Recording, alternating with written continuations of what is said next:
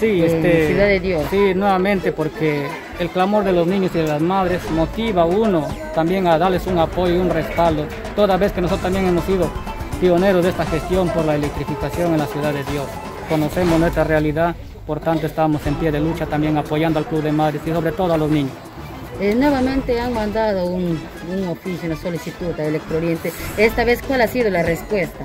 Bueno, el Club de Madres ha ingresado, según tengo conocimiento, un documento pidiendo una mesa de diálogo para el día de hoy, pero les ha sido negado por motivos que argumentan de que está en, un- en una época de cuarentena, ¿no? Y, tiene que esperar todavía un tiempo más la población para que haya una mesa de diálogo. Eh, eh, acá los niños este, no, no pueden estudiar porque Eh, no tienen el alumbrado eléctrico. no tienen alumbrado eléctrico. Nosotros dimos a conocer a Electro Oriente a través del área de proyectos en el mes de noviembre a diciembre del 2019 de que la población de Ciudad de Dios este, está prácticamente independizada de un producto privado, porque la población, como, como usted puede ver, la realidad es de extrema pobreza y no puede aportar sumas altas, que en aquel, por aquellos tiempos era como 1.500 aproximadamente por, por vivienda o por familia.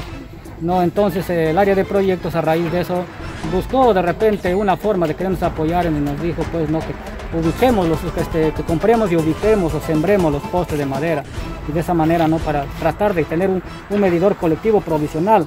Es así que en el mes de enero, a raíz de esas conversaciones que hemos tenido con nuestra junta directiva en el área de proyectos, en el mes de enero tenemos una conversación con el nuevo gerente y el nuevo gerente dijo que él se va a pegar mucho a la norma y que no va a permitir que se maneje la electrificación de esa manera, sino con todo nuevo, postes de concreto, eh, materiales, de, materiales nuevos, todo nuevos y todo lo que habíamos acordado con el área de proyectos se quedó en nada. Entonces, el área de proyectos, el Electro Oriente, conoce nuestra problemática y sabemos que esta asociación no está para aportar a un proyecto privado, ya lo conoce y es más, hay muchos pobladores que ni siquiera están registrados en este proyecto. El día de ayer hemos tenido la visita de una service de Electro Oriente para tratarnos de decir de que no hay plata en el Estado para promover proyectos pobladores, estamos en estado de emergencia. El día de hoy recién me llaman para darnos respuesta al documento que habíamos ingresado el 17 de enero. ¿Cuántos meses después? Nosotros nos hemos acercado a sí el documento, pero respuesta no había.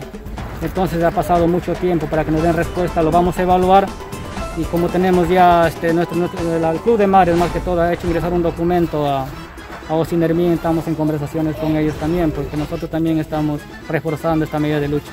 Eh, señor, ¿cuánto tiempo más van a esperar? La verdad, este, la verdad el tema pasa por el Oriente, más bien invocarle al gerente de que se ponga la mano en pecho y dé una solución al pueblo. Nosotros no podemos esperar más, los niños no pueden perder el año escolar. Usted va a continuar en su lucha. Estamos decididos, el Club de Mario nos los pide, bueno, ahí estaremos siempre, donde hay mujeres que no se rinden, hay hombres también que no se rinden y van a luchar hasta el final por los derechos que los niños merecen. Eh,